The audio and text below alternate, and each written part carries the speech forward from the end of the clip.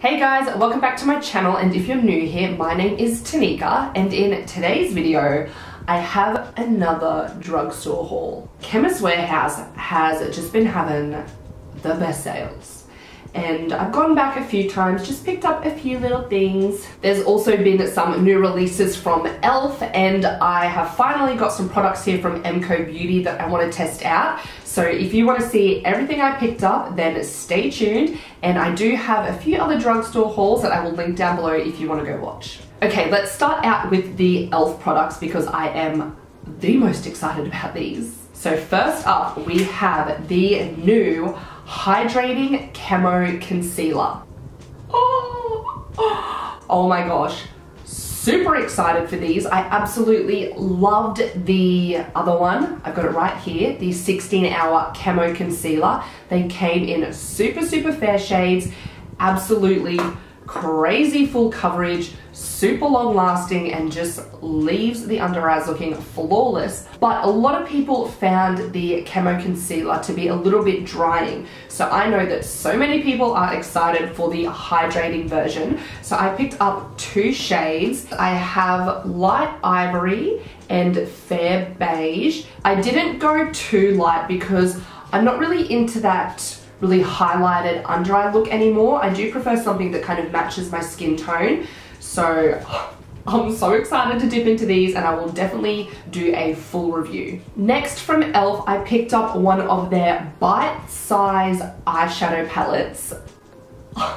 These are so mini. They are super cute. Now I would have never gone for an e.l.f. eyeshadow. I just it is a more affordable brand and I didn't think their shadows would be any good, but I have seen Jessica Braun rave about these for months now. On the e.l.f. website, the Australian one, they were out of stock for a while, but they finally come back in stock. So I picked up a one to try. This is in the shade Cream and Sugar. So I've got a bit of a dark brown, two shimmers and a light peach. Quite a neutral you know, neutral vibe, which I'm digging. But yeah, I am so excited to try this and if they are as good as I hear they are, I'll definitely pick up a few more because they've got some really cute little color combinations. And then I picked up these liquid glitter eyeshadows. So I'm assuming they're similar to the Stila liquid eyeshadows.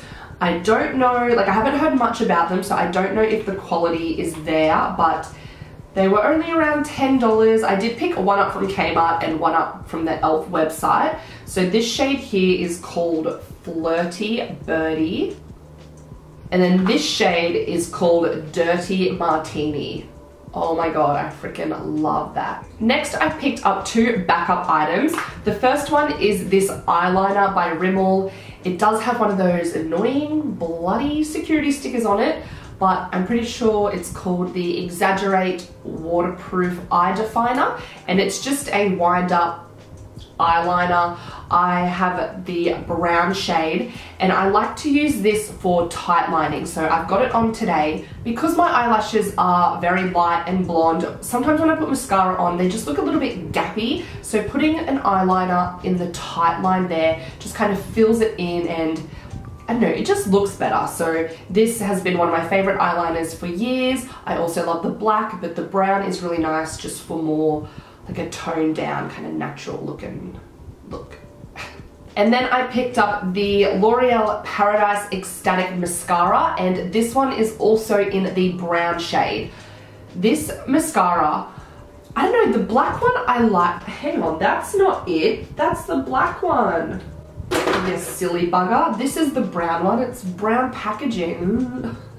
so the black one, as I was saying, I, I don't know if it's just old, but it's a little bit clumpy, whereas the brown one is absolutely amazing. Maybe just because it's new, that could be, that could be the issue but it just lengthens, separates, volumizes, it does everything I want in a mascara. And again, with the brown shade, I just like using a brown when I'm going for more of a natural look or I don't want like a really harsh look.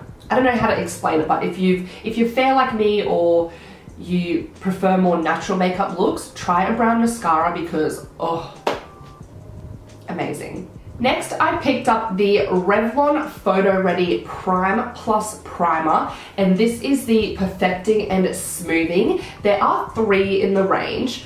Revlon has really been coming out with some products that are catching my eye. Revlon was never a brand for me that I was like, oh my god, what have they released? It felt like more of a brand for middle-aged women. It's been around for a really long time. They never really released anything like interesting or like super exciting. But recently, the highlighter that I showed in my last haul, and now these primers, like, I'm like, okay, Revlon, I see you stepping up your game.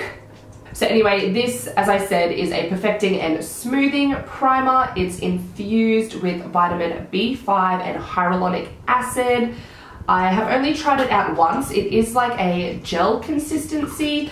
I do need to keep testing it out, but I will definitely show that in an upcoming video. And then this product I was so bloody excited for. I have been searching Priceline for so long to find this. It was on the website, but I couldn't find it in any stores, so I finally just did a click and collect. But it is the Maybelline Glass Spray. Oh my goodness. So this is a finishing spray that is meant to leave a hydrated and dewy look. Okay, so let me see if it's, yeah. I think I need to take this back, unfortunately, because it worked the first couple times. And then all of a sudden the sprayer just spazzed out and now it's just coming out. Oh, okay. So it can't make up its mind. For a while there, it was just coming out in like one straight line. Like I was mid spraying my face and then it was like, but just then, yeah, I don't know, it's, it's not spraying as it should. Like it's still got quite a like it shoots at me, you know? Where it didn't do that at first. If you know how to fix that, just tell me because I don't know, like in Australia, you can't take makeup back. So I don't know if I would be able to get a replacement. I didn't really get to test it out long enough before the sprayer stuffed up to see if it really does give you that nice, dewy, hydrated look. I am absolutely obsessed with this spray here by L'Oreal, the Shake and Glow, which leaves the most gorgeous luminous finish. So I was hoping for the same thing with this spray, but I'll have to get back to you on that one. If you've tried this out, let me know your thoughts. And then also from Priceline, I saw that Savvy released this Cream Duo Cheek product. So up the top here, we've got a cream highlighter and then down the bottom is the cream blush, which I absolutely love. I rave about it all the time here on my channel. So I am super excited to dip into the highlighter. It's like a nice pale gold, like a champagne. It looks so pretty. And if it's as good as the cream blush, then it's gonna be freaking amazing. And then lastly, I have two products here from MCO Beauty. So I picked these up from Woolworths. I've seen so many people talking about them on Instagram lately. I just had to check them out and they do a lot of 40 or like 30 to 40% off sales. So that is when I picked up these two products. Firstly, I have the Xtend Lash Mascara and this is a tubing mascara. Again, Jessica Braun got me onto wanting to try out a tubing mascara. So what it does, let me read here. The formula creates water resistant tubes around each and every lash for maximum length, definition and hold. So it says that it won't flake or smudge, it's water resistant, has an ultra black glossy finish, it's buildable, um, and it slides off with water. Like, doesn't that sound interesting? Can you just imagine like really zooming in on your lashes and seeing the tube around them? I don't know if I'm just envisioning some like wacky thing, but I've heard really good things about this and I'm super excited to try it. And then I also picked up the cheek and lip tint and this is in the shade Tango. So it does look quite like orange here, but this strip does look a little bit more coral. So you can use this as a lip stain or a blush. As you would know, I have been so into cream blushes lately, so I'm really excited to dip into this. Let me see what it says here. Easily blendable, a little goes a long way, complements natural skin tones, and is quick drying and long wearing. Seeing all this makeup here just gets me so excited. Like I love seeing the drugstore and the more affordable brands bring out such cool products. I am so excited to dip into these. So I will definitely do a video testing them out. I'll have individual reviews on some things. Let me know in the comments below what you are most excited to see in action. As I said, if you want to check out my other drugstore hauls, I will leave them down in the description box.